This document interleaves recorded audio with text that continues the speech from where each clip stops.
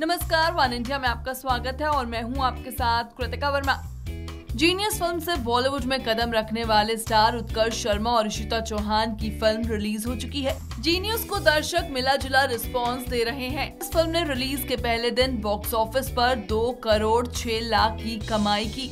वही जीनियस ने रिलीज़ के दूसरे दिन लगभग ढाई करोड़ की कमाई की है।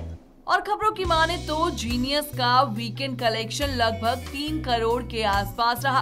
बता दें जीनियस फ़िल्म में नज़र आ रहे उत्कर्ष शर्मा बतौर चाइल्ड एक्टर फ़िल्मों में नज़र आ चुके हैं। उत्कर्ष शर्मा सनी देओल की फ़िल्म गदर एक प्रेम कथा में उनके बेटे जीते का रोल प्ले कर चुके हैं। गदर फ़िल्म को अनिल शर्मा ने डायरेक्ट किया है और जीनियस फ़िल्म से अनिल शर्मा ने अपने ही बेटे उत्कर्ष शर्मा को लॉन्च किया है। जीनियस फ़िल्म को लेकर फैंस बेसब्री से इंतज़ार कर रहे थे। फ़िल्म की कहानी को फैंस पसंद भी कर रहे हैं।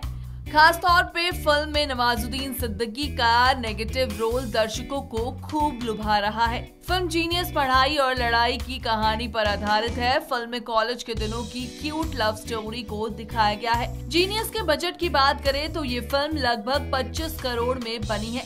वेल अब देखना ये होगा, ये फ़िल्म अपने बजट की रकम को कब तक वसूल पाती है। फ़िलहाल इस वीडियो में बस इतना ही, लेकिन आप हमारे चैनल को सब्सक्राइब करना ना भूलिएगा।